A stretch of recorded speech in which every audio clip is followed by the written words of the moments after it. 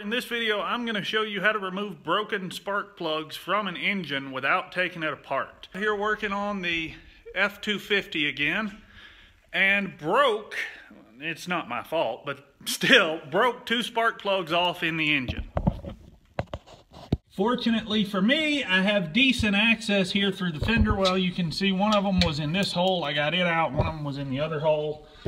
But I want to show you what happened, the tools I have used to fix it, and tell you what worked and what didn't work. So to start, here's one of the old spark plugs that came out that didn't break. You can see these things have been in there for a while.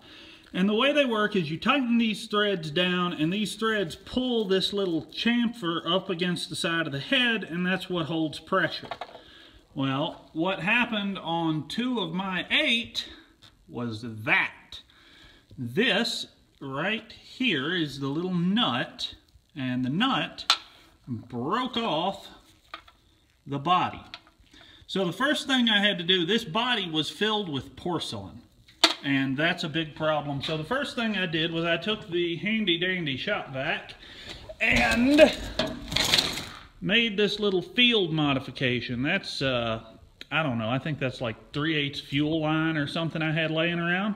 And between a careful application of shop vac and a couple of broken picks, uh, I managed to break up all the porcelain down in there and get it out. What you want to do when you're doing that is take the shop vac, adapt it down to a small piece of hose somehow. I use black tape. But come in here, and while you are chipping and banging and beating and doing all that, put your hose right just as close to that spark plug as you can get because you don't want you want to keep as much out of the cylinder as you can.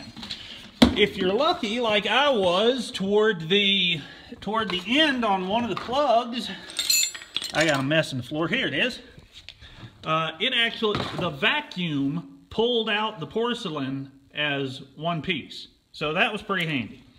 So once I got the porcelain out, I had I was left with this. This is the steel body of the plug and it was just seized down in there. So the first thing I did was I took good penetrating oil. Don't use WD-40. Uh, it's not meant for this. This is AeroKroil by Kano Labs. This stuff is undoubtedly one of the best penetrating oils on the market. So spray these sleeves and walk away. Come back two or three hours later, spray them again, and walk away. Repeat that. I did that for over a day. Let's get a flashlight there so we can see a little bit better.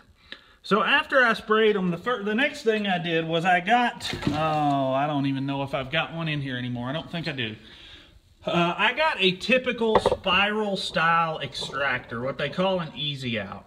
And those things work well in a lot of situations, but part of the problem with them is when you're turning it to remove the broken bolt or spark plug, it's actually tightening itself in and it gets wider. So it's increasing pressure on the stuck fastener as you're turning it. Uh, the easy out, it went in, it went really, really hard, and I just got the feeling that it was gonna break. So I took it out and backed off and sprayed it with more Kroil and walked away again. Uh, then comes today, this afternoon, uh, I'll show you what finally worked to get the back one out, and then I'll let you watch me work on this front one here. First thing I did, well, this morning, uh, I came out here and sprayed it with the Kroil again. Then this afternoon, I came out here, and because my little propane torch is so much easier to maneuver, I stuck my little propane torch in here and just heated away and it didn't do any good at all. Propane, or at least these, the cheap little torches like I have, just do not get hot enough to make any kind of a difference. So propane didn't work, didn't help. So the next thing I tried to do was to freeze the bolt. Now what we're doing with this heating and freezing and stuff is metal expands and contracts as the temperature changes. And when you heat it, everything expands and then everything contracts. When you freeze it, you can just make it contract.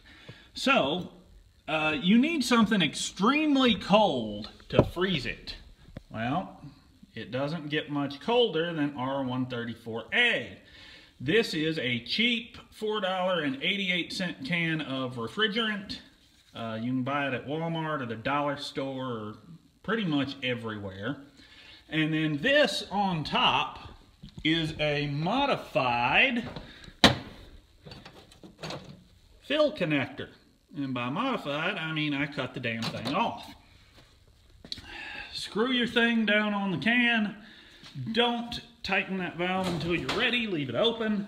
But once you're ready, you'll take your, your dealio there, tighten this valve, and as you're tightening this valve, it's going to puncture the can and open it, and refrigerant's going to start coming out. But if you turn the valve tighter, it'll actually close it off like it is now. And what you want to do after that is turn your can over, and I'll actually set the camera down. So, getting a little wacky. Set the camera down. Well, not really where I want it, but whatever. Turn your can upside down and crack the valve. See that spurting out of there? That is not water. That is, you know, I don't know how cold it is, but it's really damn cold refrigerant. So I came in here and I froze both of those spark plugs with that refrigerant. I mean, you could literally see frost on them. So I let that sit for a few minutes, hit it with the Kroil again while it was still cold, because my thought was if the spark plug has contracted even uh, the tiniest bit, that's going to give that oil a little more room to get in there and work. So I did that, let it sit for a while, and that did not help at all. So, I got out the big guns. And I came down here and I grabbed the torch. And you've got to be extremely careful doing this for a number of reasons. One, uh, there's a lot of stuff in here that can catch on fire, especially, you know, when we're talking about these 20-year-old trucks like mine is and like yours may be if you're watching this video. Uh, you know, there's oil leaks, there's old grease, there's penetrating oil where you've been trying to get them out already. So be very cautious of that. The other thing you need to be careful of if you're using, maybe even if you're not using one, but if you're using a cutting torch or a cutting head like this instead of a rosebud, uh, we'll go back to my little broken piece. Where'd my little broken piece go? Crap. I was going to demonstrate with that too. Okay, well, you all saw it. So we go back to my little broken piece, and this portion of the plug, this really rusty part right here between the nut and the chamfer there, that's extremely thin. I mean, you can see on this nut, that shiny portion around the edge, that's how thick that wall is. And when that starts getting hot, even if you're not hitting the oxygen lever, even if you're not intentionally trying to cut, uh, it's going to get hot enough and that metal is going to be thin enough that that metal is going to start melting and flowing out of the way and you want to be really, really careful about that because you do not want that hot metal flowing through the hole in that spark plug and getting into your cylinder. That will, that'll wreck a cylinder, that'll wreck a piston, that'll wreck a lot of stuff. So be very careful.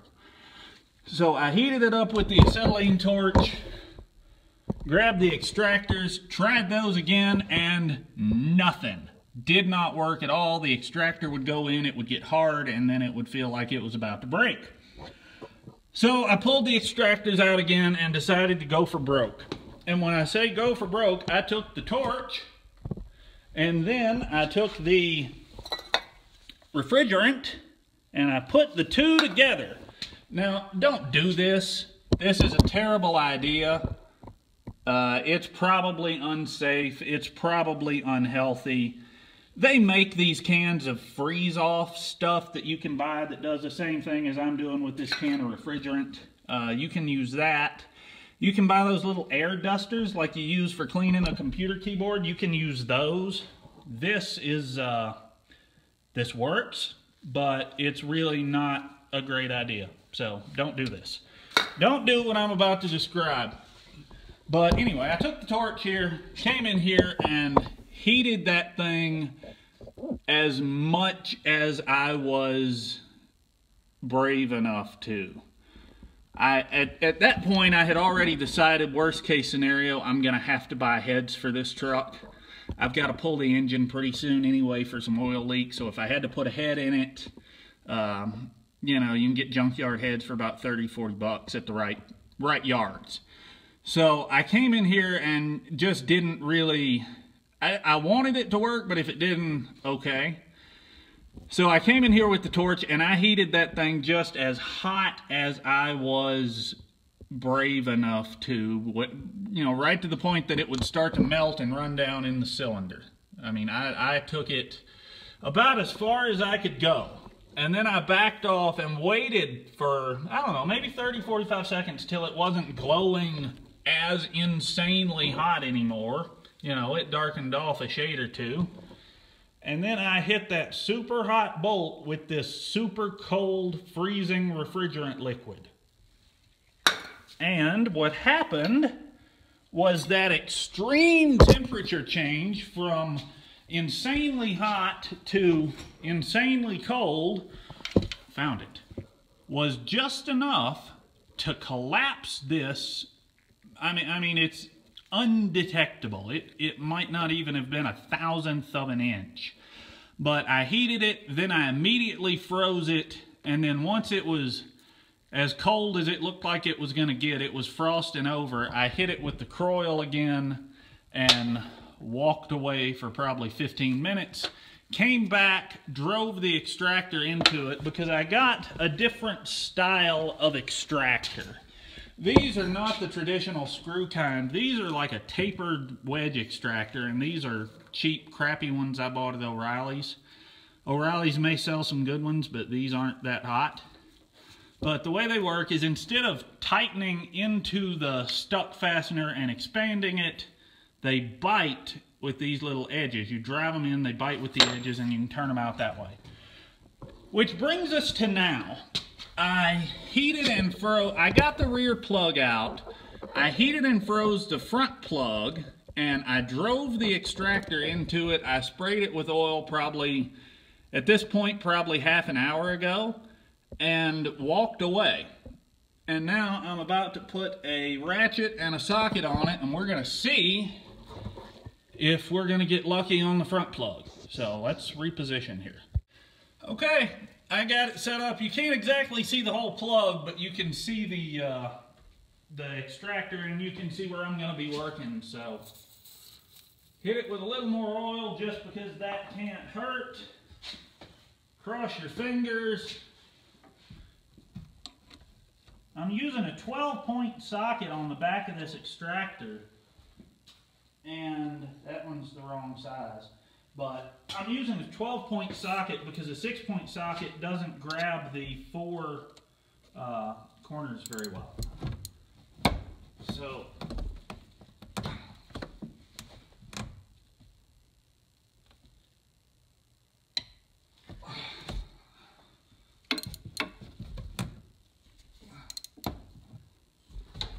There we go. Look at that. Whoopsie.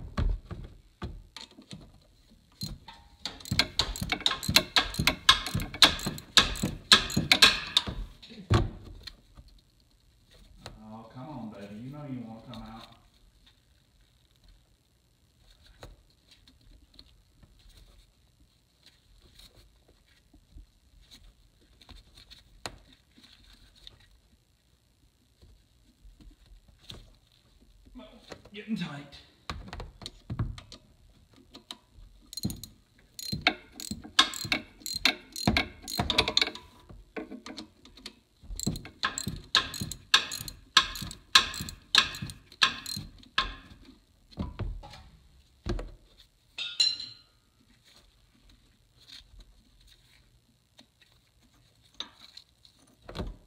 Hey, hey, hey, there we go.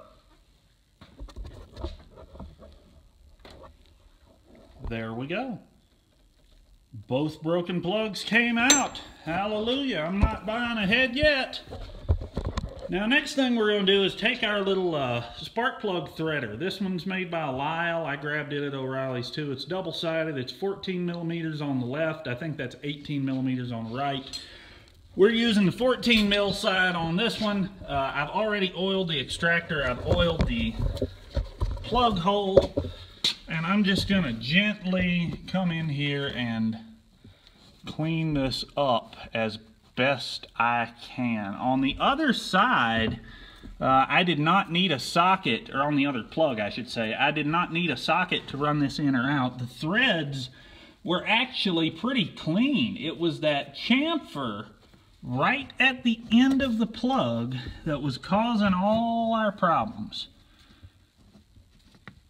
And that bottomed out just like it should. So we'll run it back out and talk about the next thing we're gonna do because this is not done. Okay, now that our plugs are out, we've got to clean these cylinders before we put new plugs in because during the removal process, especially banging on the porcelain, even with the vacuum, there's a chance some of it got down in there and that'll wreck a cylinder in a hurry. So here's what we're gonna do to clean that up. First is an extendable magnet. You know, a little cheap little magnet you can get at the parts store. And I'm going to do a better job of this later. This is just to illustrate what you're after. But you'll take your magnet, stick it down in the cylinder, and run it around just to get, see that? Just to get any particles of stuff. You can see if it'll focus here, all that's black oily rust flakes. So we're gonna use our magnet to get all the big stuff. And you know, it's it's gonna take a few minutes for me to do that. I'm not gonna bore you with all that. But once we use our magnet and get all the big stuff, take your vacuum and depending on what size hose you have, this hose is too big to fit through my plug hole. So I'm gonna adapt it down again to a smaller piece of hose. Um, I'm sure I got some floating around somewhere but use a smaller piece of hose, go in through the spark plug hole and vacuum the cylinder out. Not gonna hurt a thing in the world to do that. And then, with those two plugs out, come over here, pull the coil wire off, and turn the engine over a couple of times with the plugs out and let it blow anything else that may be in there out through the spark plug hole. Some of that stuff theoretically could go out through the exhaust valve, but better if it doesn't. So there's two extracted plugs. There's two broken plugs. I hope you enjoyed this video. If you want to see more truck tech information, be sure to subscribe and I'll put a link uh, right here at the end of the video somewhere to the the other truck stuff I've got on this channel. If you found this video useful, please hit like. If you have any comments, questions, anything like that, be sure to uh, put them in down there below, down in the comment section. And thanks for watching.